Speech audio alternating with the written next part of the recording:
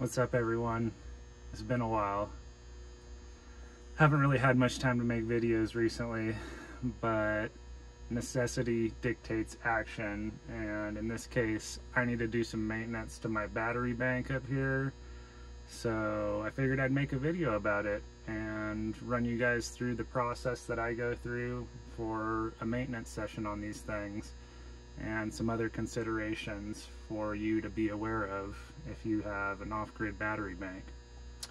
So starting off, this right here is a lead acid battery bank. And what that means is it's basically, these are like old school batteries. These are lead plates submerged in an electrolyte solution. They're flooded with water and yeah, there's some internal chemistry that goes on there. So the first thing that you may have noticed is these batteries are absolutely filthy right now. And the reason that these batteries are filthy is because I had an ant infestation and they got into this uh, insulation and they're actually making a nest inside of it. So that's what all this powder all over the place is. Luckily, the poison that I put out for the ants took care of that, but I still need to clean this up. From my experience, a lot of the battery systems that I've seen off-grid, you know, the dirtier ones seem to be the ones that have the more problems. I don't know why, maybe it's just like general neglect. But the first thing that I'm gonna do is I'm gonna kind of tidy up my area here. I'll take this stuff out of here, got a shop vac. I'm gonna clean everything up, make it look nice. And, you know, a big part of that is just like seeing what you're working with, seeing if you do have any other big issues in here, any corrosion or any loose connections, or it's just good housekeeping. So let's go ahead and run through that first. So as you can see, I've had some residents living in here. Another good reason why it's always a good call to clean stuff up so you know what's going on. These three batteries over here don't really have anything to do with the system. It's these 10 over here that are the heart of my power system up here.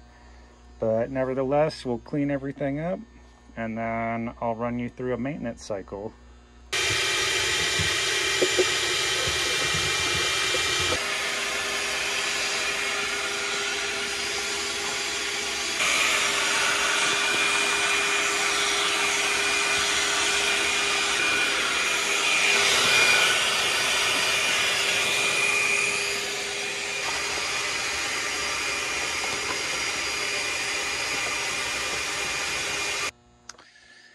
All right, so now that we've got things relatively cleaned up, you know, kind of just take a look at things. So you're, you're wanting to look for anything, any corrosion and spillage, just any kind of anything that might look wrong.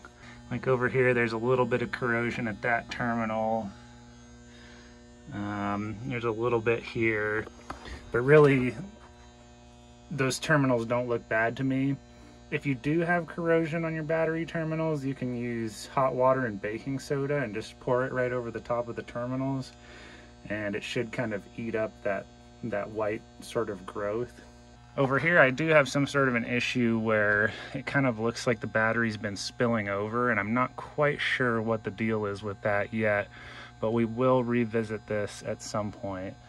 The main thing that you should be doing as part of your lead acid battery maintenance is you should be checking the fluid levels.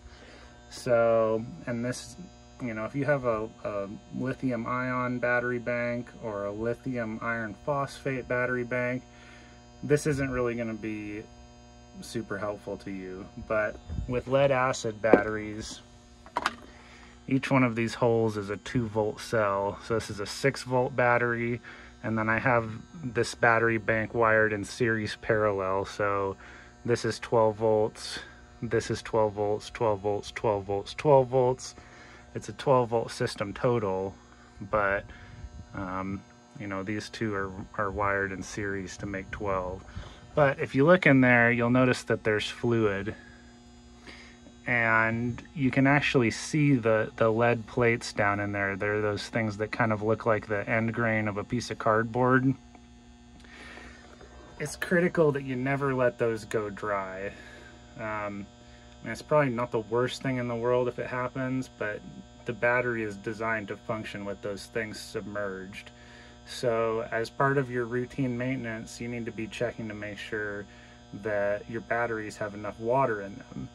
And it's not just any kind of water, you need distilled water because you don't want to be putting all of those like um, all of the minerals that come in tap water in your batteries. So what we're going to do now is we're going to check every battery cell, every 2 volt cell, and make sure that there's enough water in there. And the way that you do that, at least on these batteries, is it's easier to see on that one. See at the at the tip of my fingernail, you can see where the plastic ends there. You want to fill it up enough so that the water hits the bottom of that plastic. And that slit that you see going up through the plastic is a vent. So I'll show you guys one cell Maybe I'll show you this one because it's in the sunlight and you'll be able to see it pretty easily. But I'll show you how much you want to fill it up and then you just repeat that with every battery. So let's go ahead and do that right now. See at the tip of my fingernail there? That's the plastic that you want to fill the water up to. So you want to try to do this without uh, without spilling too much. And I'm kind of having to do this at an awkward angle so that you guys can see, but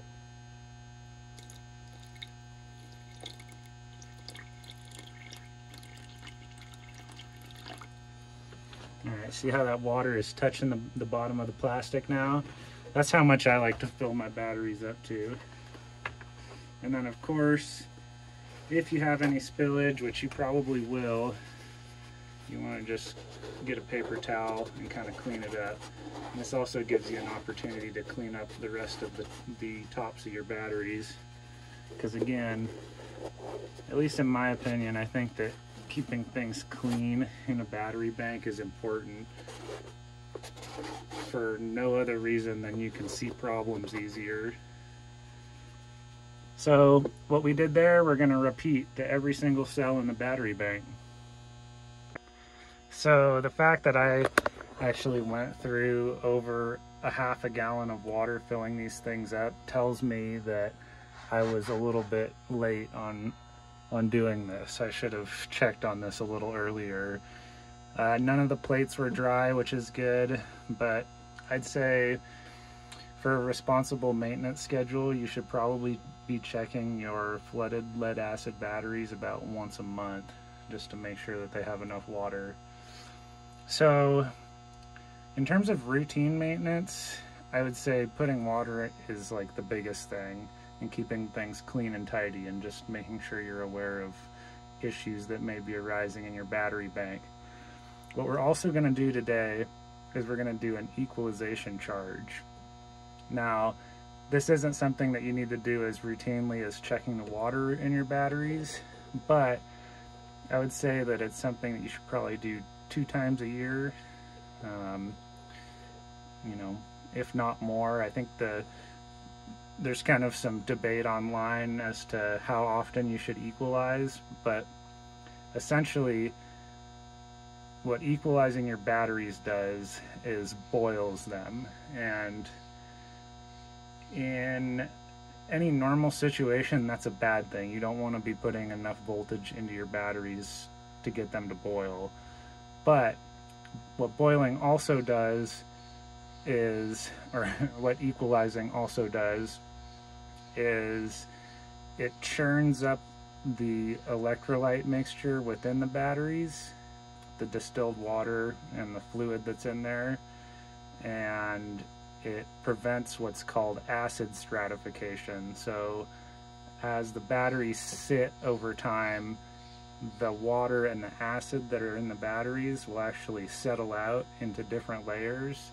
So boiling them kind of mixes everything back up and it also knocks any sulfate crystals that have grown on the lead plates off which will reduce the, the battery efficiency and lifespan. So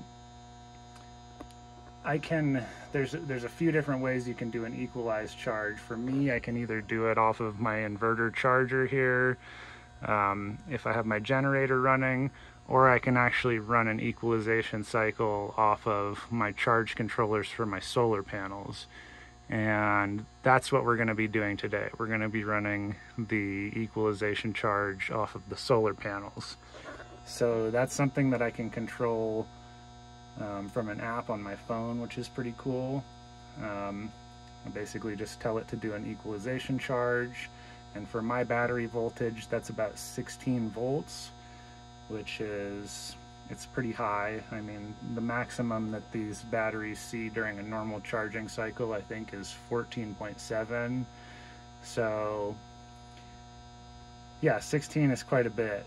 And I'll show you once I start the equalization cycle, I'll show you what it looks like. You can actually see the fluid in there bubbling. And another really important thing to note is that when you do do an equalization cycle, it off gases hydrogen gas. That's what's bubbling out of it.